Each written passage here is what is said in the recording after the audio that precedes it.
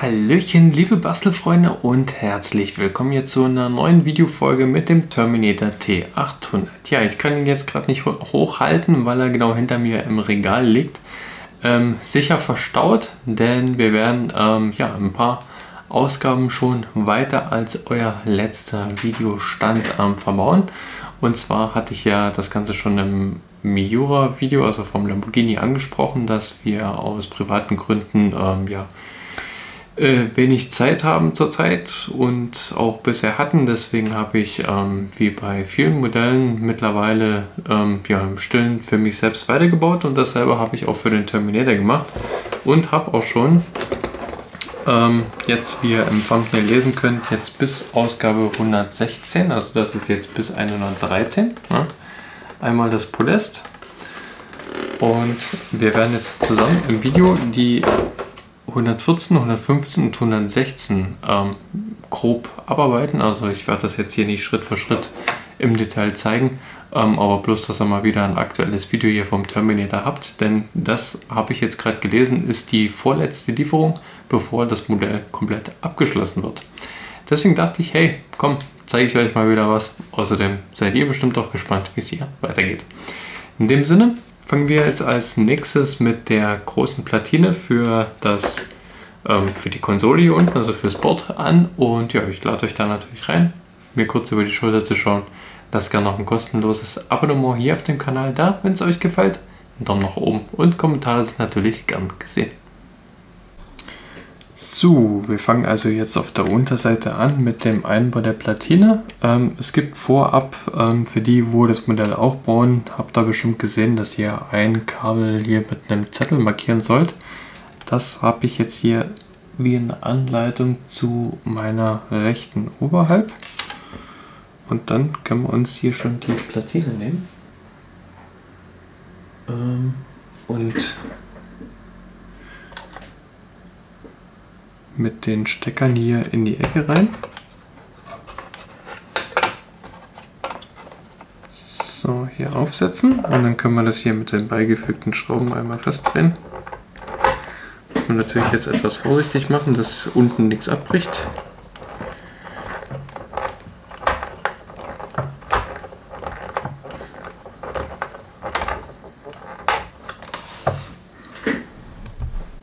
So, nachdem die Platine fest ist, ähm, können wir die Stromkabel hier der oder den Steckern zuführen. Ne? Ich habe die hier zusätzlich noch mit dem, ähm, mit dem Taser festgemacht, damit die da nicht verrutschen. So, als nächstes ähm, an der Stelle, wo der Totenkopf auf der Außenseite hier drauf ist, also man sieht sie an der Form, ne? ähm, wird jetzt von oben der Start der Startstecker einmal hier durchgeführt, also der Ein- und Ausschalter. so, dann wird er hier durch eingeknipst.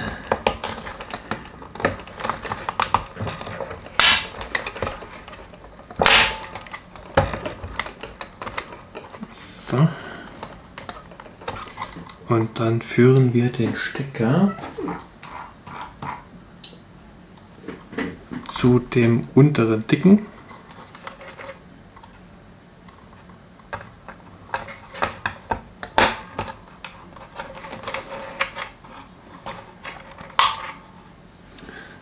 Das können wir auch mal ein bisschen Klebeband festmachen.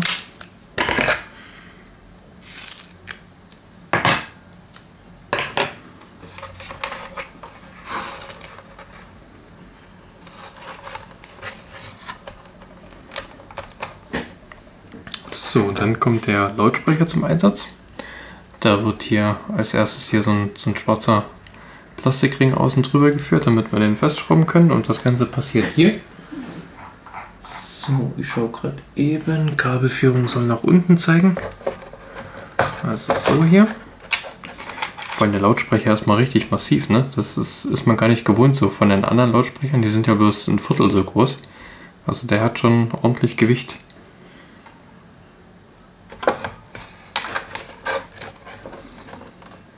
So, und dann wird er hier bloß festgeschraubt. Das ist gar nicht so leicht, wenn der Magnet vom Lautsprecher leicht äh, schwerer ist, also anziehender als der vom Schraubendreher.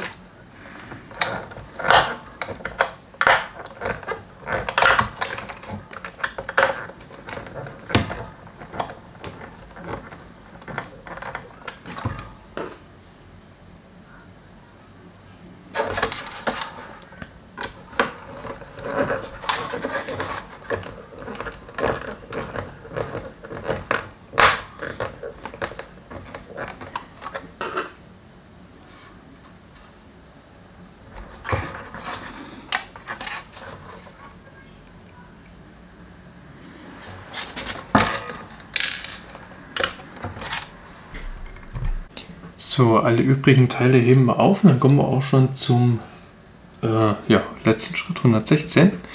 Und zwar gibt es hier die erste oder aus der Ausgabe 115 noch die erste ähm, MDF-Platte hier für den Boden. Das war schön auch mit Samt bezogen, ne? Finde ich echt klasse. Und ja, den setzen wir hier als erstes hier auf dem Bereich über dem Lautsprecher. Auf diesen Füßen hier auf und drehen das Ganze mit, mal schauen, mit den dicken mitgelieferten Schrauben hier fest.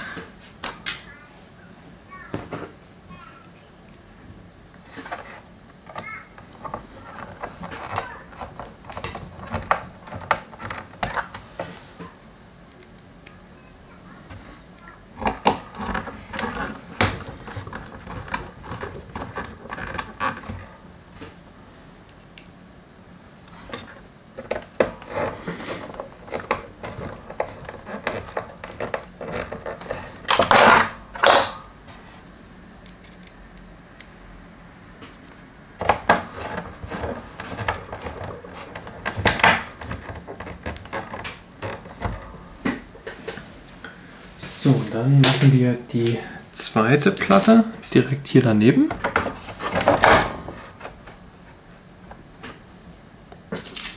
Ich hoffe ja, dass durch die ganze Konstruktion die, die Plastikplatten hier, also die, die oberen Platten, noch ein bisschen mehr Stabilität bekommen, weil die sind ja jetzt tatsächlich nur außen über diese kleinen Metallplättchen zusammengeschraubt, aber in der Mitte flattern die alle noch hin und her.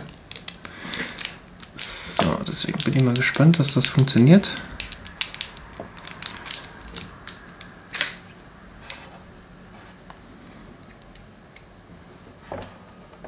Aber hier in der 116 ist ja eine große Metallplatte dabei. Vielleicht kommt die noch hier gleich in die Mitte. Mal schauen. Also nicht gleich, weil wir müssen ja noch andere Stecker anbringen. Weil hier fehlt ja noch die Stromversorgung.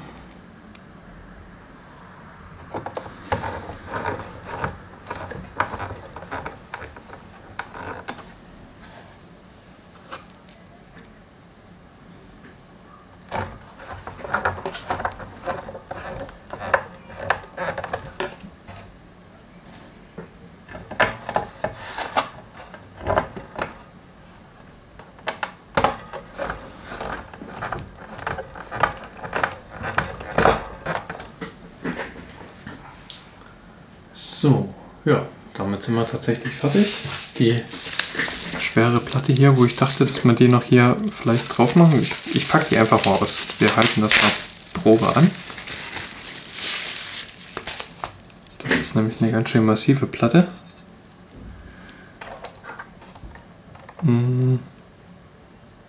Ich kann mir nicht vorstellen, dass die hier hinkommt. Obwohl doch der Lochabstand passt. Okay, also kommt die tatsächlich dann hier wahrscheinlich drüber. Ne? Damit die Platte dann quasi auch ein massives Gewicht hat, wo sie dann auch den Terminator später halten kann. Ohne dass der einfach aufgrund seines Schwerpunktes umkippt. Jo, ne, dann sind wir für heute fertig. So, Lieben, das war's dann aber auch schon wieder für die Videofolge. Ich schaue mal, ob ich das hier so ein bisschen hochhalten kann. Damit man hier das Podest nochmal im Ganzen sieht, ne? mit den vier Rückstrahlen. Und so sieht es dann jetzt von unten aus mit Verkabelung und den ersten zwei ähm, ja, Platten. Ne? Und in dem Sinne warten wir einfach auf die nächste und vor allem auch die letzte Lieferung hier für den Terminator, denn dann ist Lieferung 30 und das Modell findet seinen Abschluss. Ich wünsche euch jedenfalls viel Spaß beim Nachbauen und sage daher Tschüss und bis zum nächsten Mal.